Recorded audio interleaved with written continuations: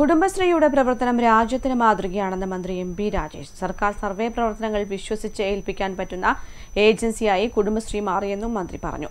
മാങ്ങാട്ടിടം പഞ്ചായത്തിലെ അയൽക്കൂട്ടങ്ങൾക്ക് അനുവദിച്ച micro credit വായ്പാ വിതരണം ഉദ്ഘാടനം ചെയ്ത് സംസാരിക്കുകയായിരുന്നു മന്ത്രി. കുടുംബശ്രീയുടെ പ്രവർത്തനം മാതൃകാപരമാണ്.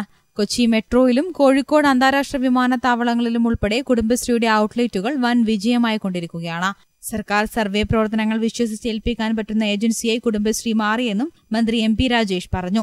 കേരള പിന്നോക്ക വിഭാഗം വികസന കോർപ്പറേഷൻ മാങ്ങാട്ടിടം പഞ്ചായത്തിലെ അയൽക്കൂട്ടങ്ങൾക്ക് അനുവദിച്ച മൈക്രോ ക്രെഡിറ്റ് വായ്പാ വിതരണം ഉദ്ഘാടനം ചെയ്ത് സംസാരിക്കുകയായിരുന്നു മന്ത്രി. രാഷ്ട്രീയമായി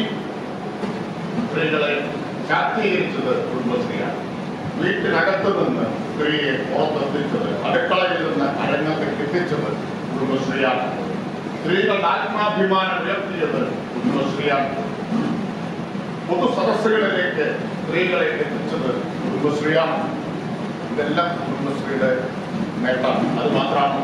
മെരുവമ്പായിൽ നടന്ന ചടങ്ങിൽ panchayat president P C Gangadharan അധ്യക്ഷനായി. Block panchayat president R Sheela U V Bindu K Santhamma T Balan Shaji Karippayi doctor Surjith തുടങ്ങിയവർ സംസാരിച്ചു. News bureau Koothuparamba.